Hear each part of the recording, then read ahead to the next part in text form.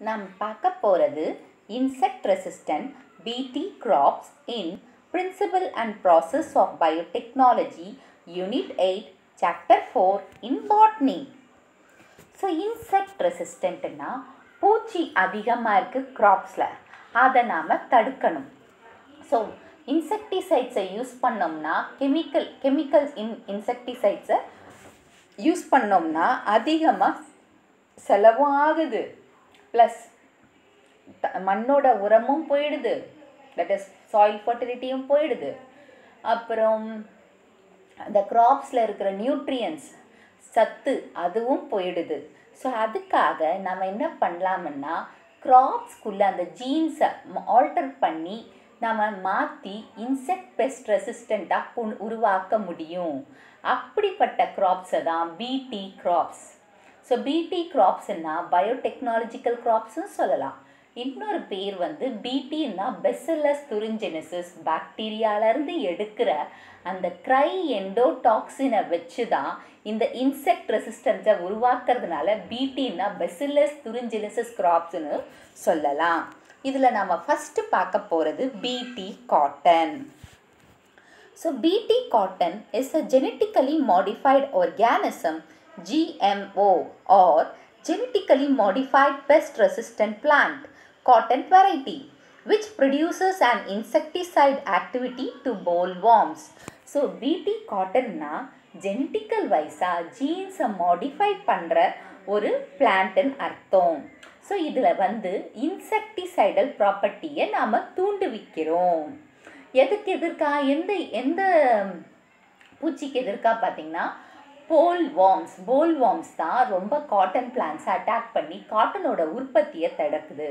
So அந்த போல் வார்ம்ஸோட உற்பத்தி அதாவது உருவாக்குறத அந்த அதை வந்து நம்ம கட்டுப்படுத்திட்டோம்னா நம்மளுக்கு நல்ல ஈல்டு கிடைக்கும் காட்டன் பிளான்ஸு ஸோ பாக்டீரியல் அதாவது இந்த பாக்டீரியமில் பெசில்லஸ் துருஞ்செனிசஸில் நிறைய ஸ்ட்ரெயின்ஸ் இருக்குது அதாவது twenty different types of strains இருக்குது இந்த twenty different types of ஸ்ட்ரெயின்ஸும் harmful to different types of insects so மற்ற நிறைய இன்செக்ட்ஸுக்கு இந்த பீட் பெசிலஸ் துரிஞ்செனிசஸ்லேருந்து எடுக்கிற அந்த twenty different types of strains வந்து ஆர்ம்ஃபுல்லாக இருக்குது அதாவது அவங்களுக்கு ஒரு சவாலாக இருக்குது சாகடிக்கிறதுக்கான ஒரு வாய்ப்பு இருக்குது அந்த ஜீன்ஸில் most BT toxins are insecticidal to the larva of moths butterflies beetles cotton bollworms and gadflies so இந்த பிடி டாக்ஸின் யாருக்கெல்லாம் வந்து அதாவது ஒரு லார்வல் ஸ்டேஜில் தான் இது வந்து இன்செக்டிசைடல் ப்ரா ப்ராப்பர்ட்டி இருக்குது லார்வல் ஸ்டேஜை தான் அட்டாக் பண்ணும்.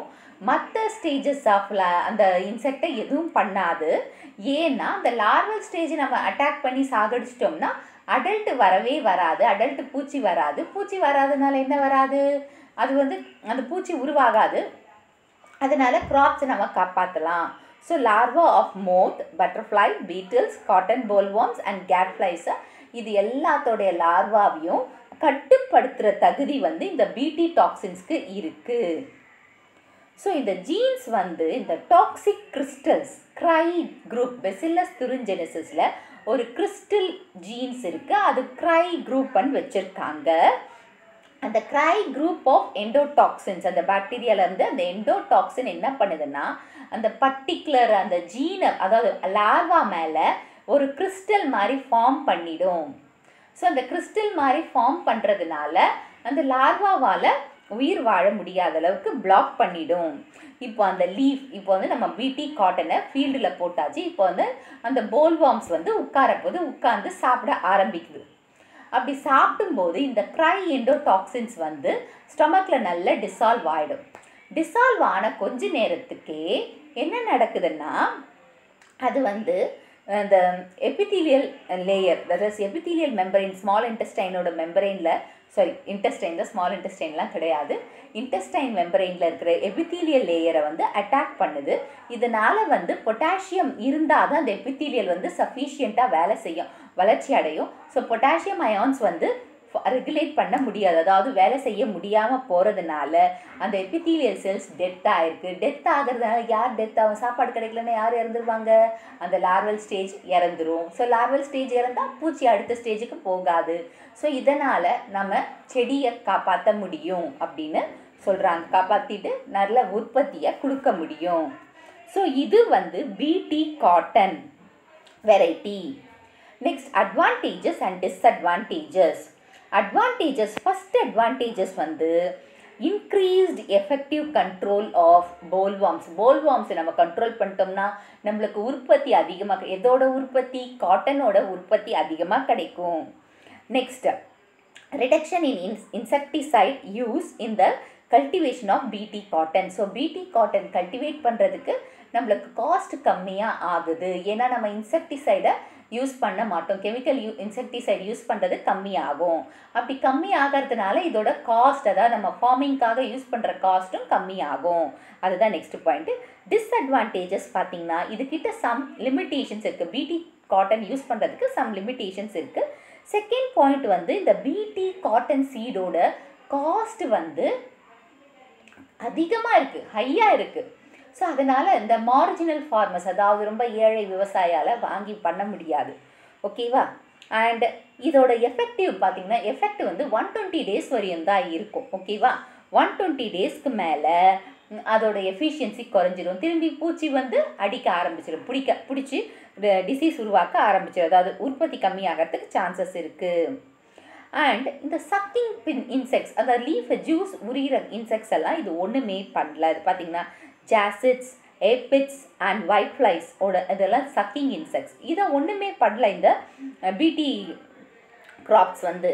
ஸோ அப்புறமா அது மட்டும் இல்லாமல் பாலினேட்டிங் இன்செக்ட் சில பெனிஃபிஷியல் இன்செக்ட்ஸ் இருக்கு இல்லையா? இது இருந்தால் தானே பாலினேஷன் இன்செக்ட் பாலினேஷன் நடக்கும். அப்போ தான் நமக்கு ஃப்ரூட்ஸ் ஃப்ளார்ஸ் எல்லாம் கிடைக்கும். அது சுத்தமாக நடக்காமல் போது அதனாலையும் ஈல்டு பாதிக்குது. இதுதான் advantages and disadvantages of BT crops okay insect அதாவது இன்செக்ட் ரெசிஸ்டன்ட் க்ராப்ஸ் இதுதான் பிடி கத்திரிக்காய் that is BT brinjal variety Dhara mustard hybrid DMH so இந்த DMH eleven is a transgenic mustard Dhara mustard hybrid DMH eleven வந்து ஒரு டிரான்ஜினிக் mustard developed இதை வந்து develop பண்ணது வந்து நம்ம சயின்டிஸ்ட் அதாவது centre for genetic manipulation of crop plants Delhi யூனிவர்சிட்டியில் இருக்கிற சயின்டிஸ்ட்டு ப்ளஸ் கவர்மெண்ட் தான் இந்த ப்ராஜெக்ட்டுக்கு ஸ்பான்சர் பண்ணாங்க. DMH eleven transgenic mustard developed அதாவது இதை டெவலப் பண்ணது DH that is DMH Dhara mustard ஹைப்ரிடை develop பண்ணது. இந்த இந்த வெரைட்டியை டெவலப் பண்ணுறதுக்கு கவர்மெண்ட்டே ஸ்பான்சர் பண்ணியிருக்காங்க. ஸோ டெல்லியில் டெல்லி யூனிவர்சிட்டியில் தே ஹேட் டன் திஸ் இதை பண்ணியிருக்காங்க. ஸோ இது வந்து genetically modified variety of herbicide tolerant mustard so herbicide tolerant weed பிளான்ஸை control பண்ணுறதுக்காக உருவாக்குன பிளான்ட்டு தான் இது இந்த herbicide tolerant HT mus mustard mustard so இதில் வந்து barnase that is barnase barstar technology அதாவது பார்னேஸ் பார் ஸ்டார் டெக்னாலஜியை வச்சு ஜெனட்டிக் மாடிஃபிகேஷன் அதாவது ஆடிங் த ஜீன்ஸ் அதாவது ஜீன்ஸை வந்து ஜெனட்டிக் மாடிஃபிகேஷன் எப்படி பண்ணியிருக்காங்கன்னா ஆடிங் ஆஃப் ஜீன்ஸ் அதாவது சாயில் பாக்டீரியத்திலேருந்து மஸ்டர்டுக்கு ஆட் பண்ணியிருக்காங்க அப்படி ஆட் பண்ணும்போது மஸ்டர்டை செல்ஃப் பாலினேஷன் நடக்கிற மாதிரி செஞ்சுருக்காங்க. ஸோ செல்ஃப் பாலினேட்டிங் பிளான்ட்டாக மாற்றிருக்காங்க ஸோ இவங்க என்ன பண்ணாங்கன்னா பார்னேஸ் ஆர் பார் ஸ்டார் டெக்னாலஜியை யூஸ் பண்ணி ஜீன்ஸை மாற்றிருக்காங்க அப்படி மாத் with the help of soil bacterium so எதை வச்சு அவங்க மாட் மாற்றிருக்காங்கன்னா சாயில் பாக்டீரியத்தில் இருக்கிற ஜீன்ஸை மஸ்டர்ட் பிளான்ட்குள்ளே மாற்றி அனுப்பது அதாவது ஜெனட்டிக்கலாக மாற்றி அனுப்பியிருக்காங்க. அப்படி அனுப்பின பிறகு அது பார்க்கும்போது மஸ்டர்ட் பிளான்ட் வந்து ஒரு செல்ஃப் பாலினேட்டிங் பிளான்ட்டாக மாறி இருக்கு டிஎம்ஹெச் லெவனில் வந்து த்ரீ ஜீன்ஸ் இருக்குது அதாவது இதில் அவங்க த்ரீ ஜீன்ஸை வந்து உள்ளே செலுத்தியிருக்காங்க. Bar gene barnase gene and barstar gene இது ரெண்டுமே எதுலேருந்து எடுத்திருக்காங்கன்னா சாயில் பாக்டீரியத்துலேருந்து எடுத்திருக்காங்க. இந்த மூணுமே எந்த பாக்டீரியானா சாயில் பாக்டீரியாலேருந்து எடுத்திருக்காங்க. நல்ல ஞாபகம் வச்சுக்கோங்க.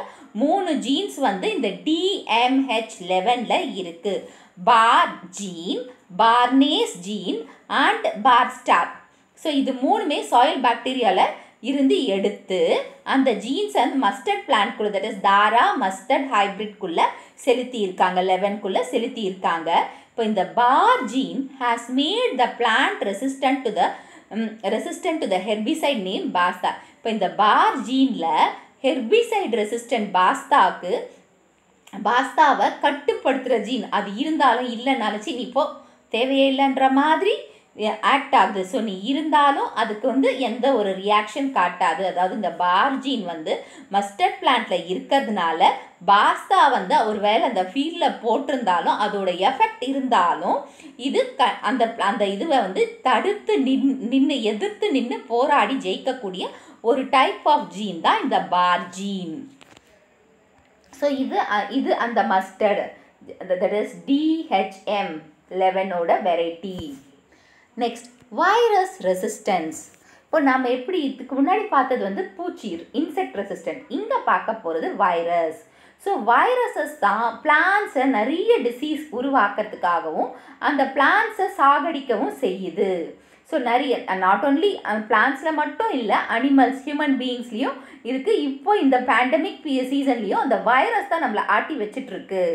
ஸோ இப்போ இந்த வைரஸஸை பிளான்ட்டில் எப்படி தடுத்து எதிர்த்து நிற்க போகிறாங்க எப்படி இன்செக்ட் அதாவது எப்படி போராட போகுது? ரெசிஸ்டன்ஸை நம்ம உ உருவாக்க போகிறோம் ஸோ பயோடெக்னாலஜியை வச்சு வைரல் ரெசிஸ்டன்ஸ் இருக்கிற ஜீன்ஸை அந்த பிளான்ட் ஹோஸ்ட் பிளான்ட்டுக்குள்ளே செலுத்தலாம். அப்படி செலுத்தும் போது வைரஸை அட்டாக் பண்ணுற கெப்பாசிட்டி அந்த பிளான்ட்டுக்கு வரும். ஸோ இப்போ நாம் அந்த ஜீன்ஸை இன்ட்ரடியூஸ் பண்ண பிறகு சில வைரஸ் ரெசிஸ்டன்ட் எம்சைன்ஸ் உற்பத்தி ஆகும். அந்த எம்சைன்ஸ் வந்து வைரல் டிஎன்ஏவை டீஆக்டிவேட் பண்ணும். இதை மாதிரி வைரஸ் ரெசிஸ்டன்ட் பிளான்ஸை நம்ம உருவாக்க முடியும். பயோடெக்னோ தட் இஸ் பிடி பிடி மூலமாக பிடினா நத்திங் பட் பயோடெக்னாலஜி ஸோ இந்த வீடியோ உங்களுக்கு பிடிச்சிருந்தா ஒரு like share and subscribe to science easy tech channel